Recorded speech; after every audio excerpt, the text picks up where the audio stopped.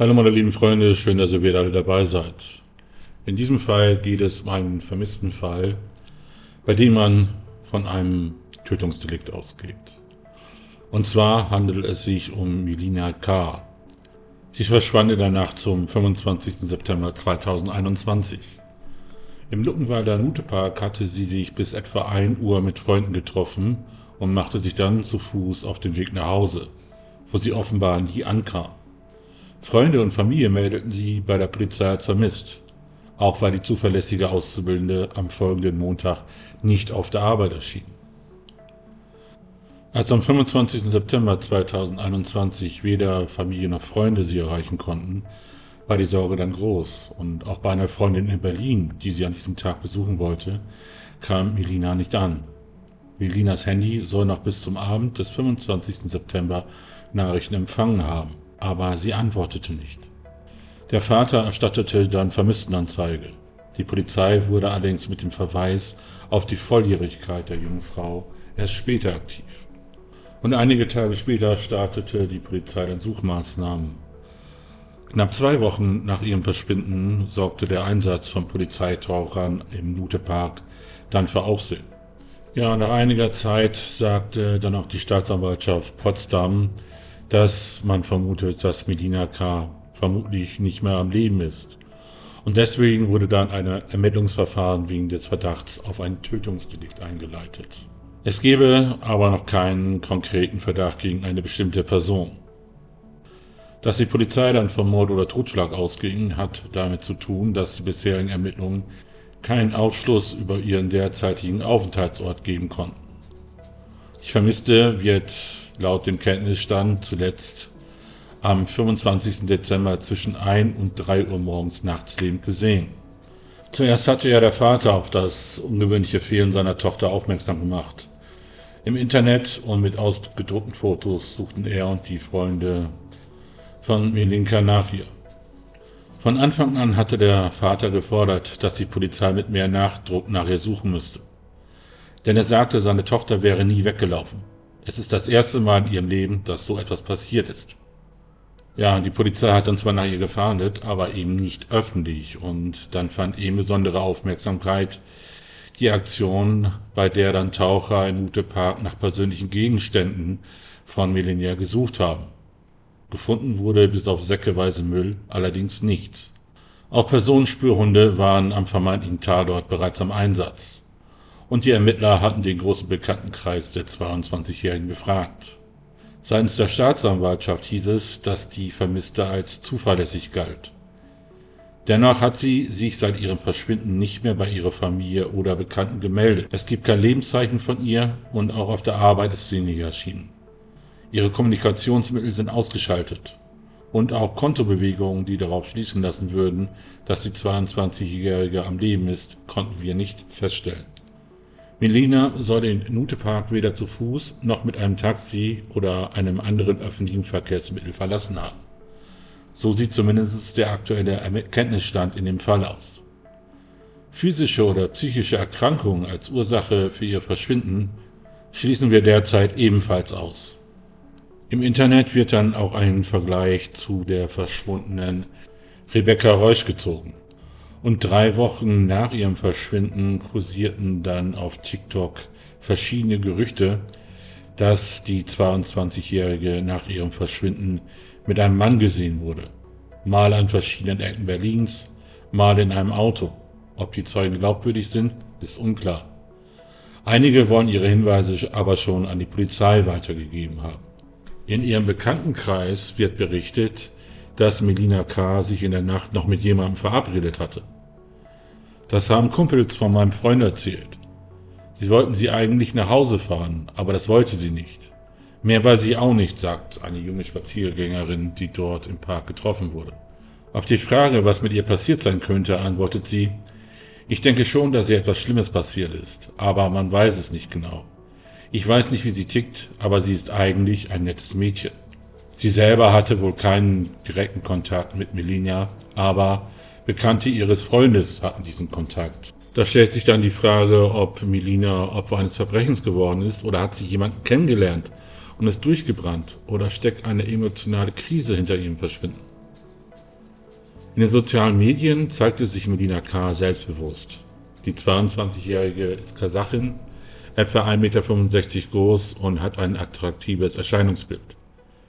Sie trägt dunkles Haar, perfektes Make-up, figurbetonte Kleidung und hat Tattoos.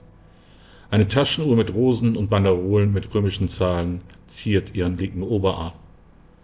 Auch auf ihrem Unterarm sind Rosen tätowiert. Und über dem rechten Schlüsselbein trägt sie einen Schriftzug.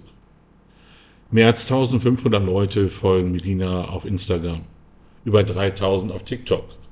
Und von ihren Followern wird sie bewundert. Entstanden sind die Fotos in ihrer Heimatstadt Luckenwalde, aber auch in Berlin oder Hamburg. In ihren Instagram-Stories ist Melina K. mit Freunden am See oder auf Partys zu sehen. Die jüngsten Aufnahmen sind gerade einmal vier Wochen alt, also kurz vor ihrem Verschwinden entstanden. Im Beisein ihrer Freundin und Familie wirkt die 22-Jährige glücklich, aber es gibt auch eine andere Seite. Melina K. teilte in der Vergangenheit zahlreiche Beiträge über toxische Beziehungen.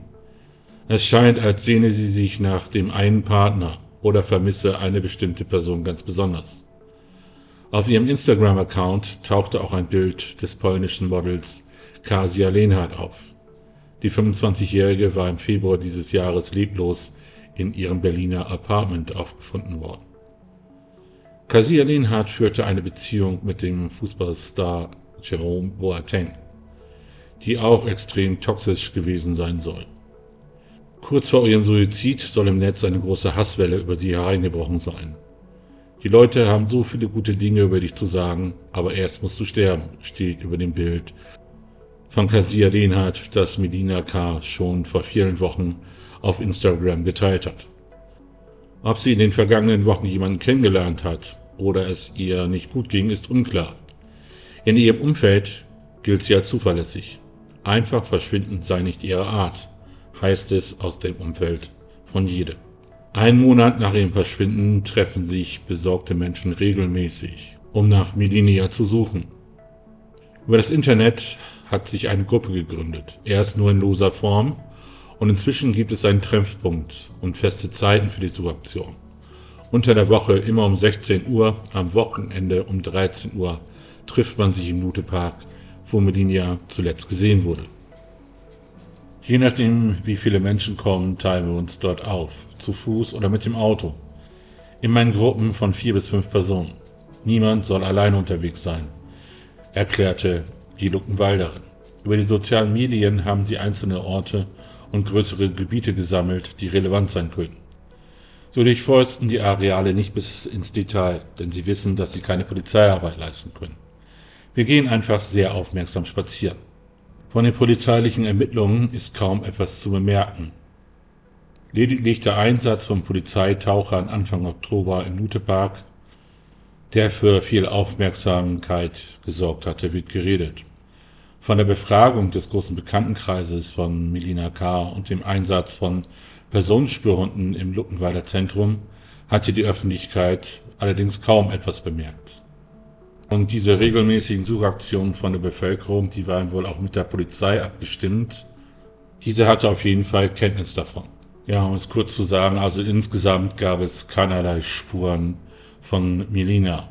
Auch keine Gegenstände, die sie verloren hat gar nichts, also wie vom Erdboden verschluckt.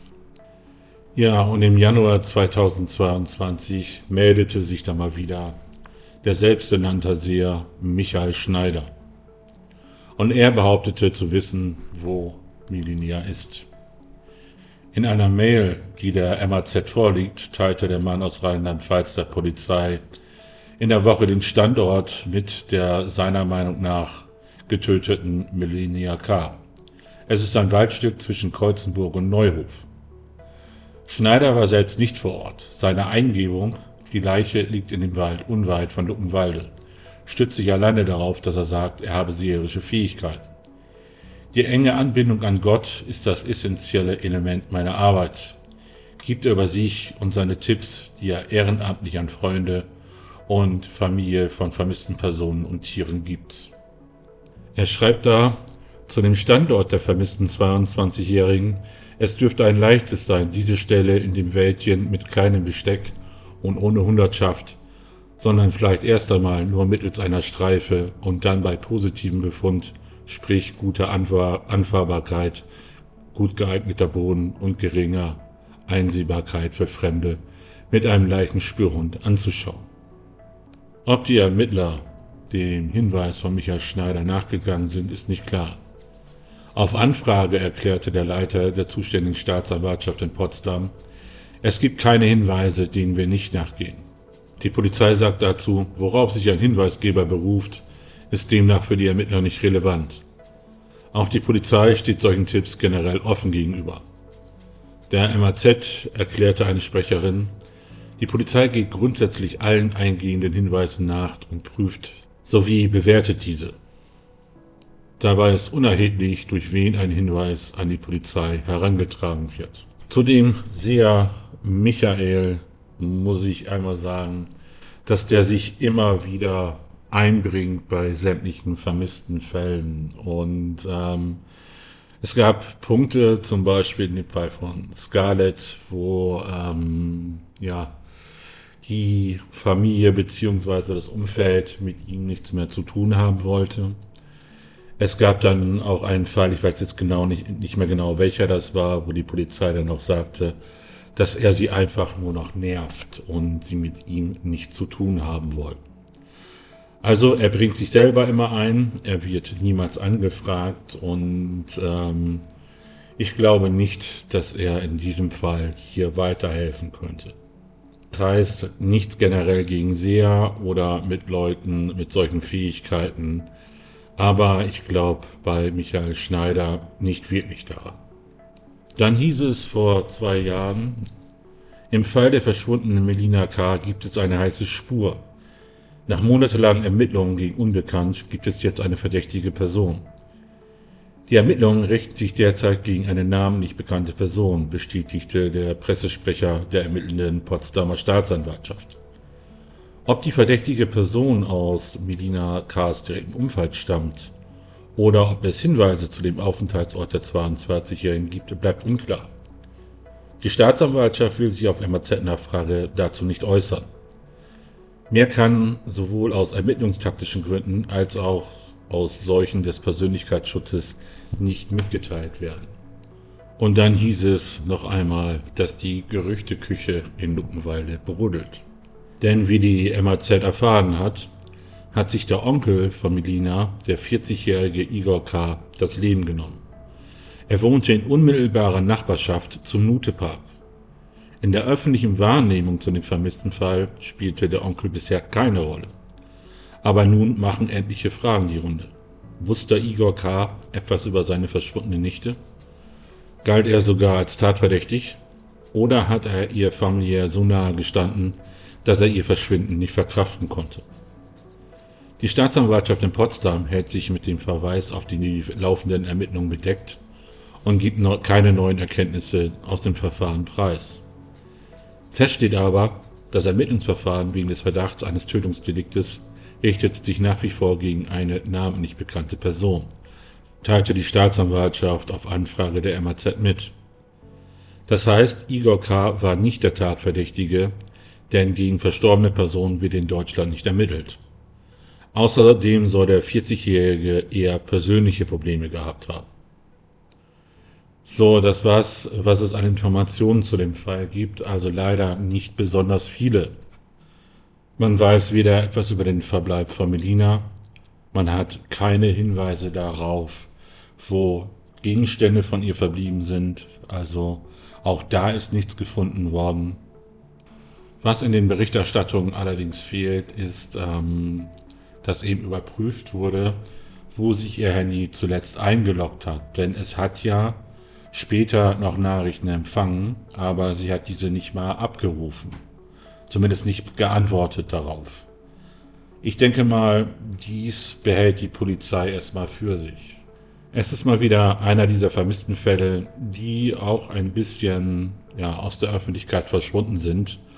Und ich weiß jetzt nicht, wer aus unserer Community mich nochmal darauf hingewiesen hat. Der hatte mich gebeten, doch mal ein Video zu diesem Fall zu machen, obwohl es ihm nicht so viele Informationen darüber gibt. Ich habe jetzt hier einmal versucht, alle Informationen in diesem Video zusammenzutragen.